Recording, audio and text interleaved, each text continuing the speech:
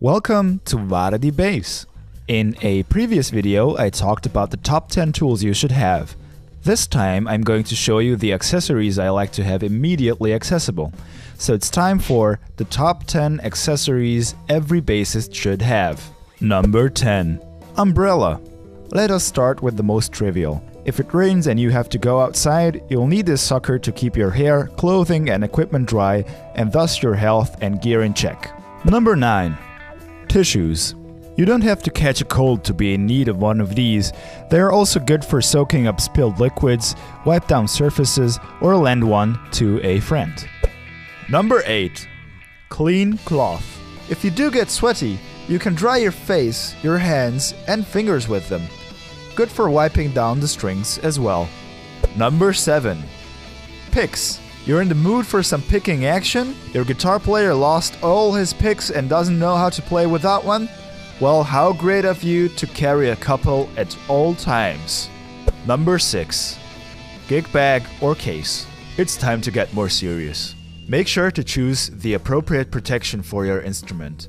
Flight cases for flying, hardshell cases for the back of the van, or gig bags for easy and lightweight transportation.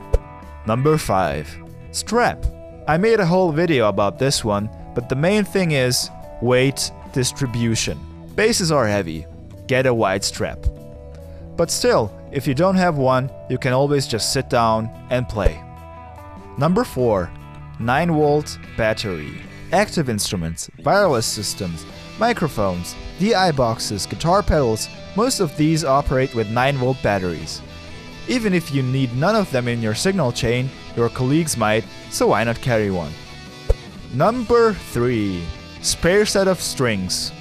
Strings can be fresh and new, or miserable and old, but you never know when one could break. Don't ruin your practice, rehearsal, or concert by not having a backup string, so carry one. Number 2. Guitar cable. Never forget it. Ever. I advise you to carry an extra cable in case the other gets faulty or someone needs it. And number 1. Hearing protection. The most important thing of all is your hearing. Prolonged sessions of loud stages, bad room acoustics, and consistent noise might at least desensitize your hearing, cause hearing loss, or even tinnitus. You don't want that. Nobody wants that. So get yourself some earplugs if you haven't already.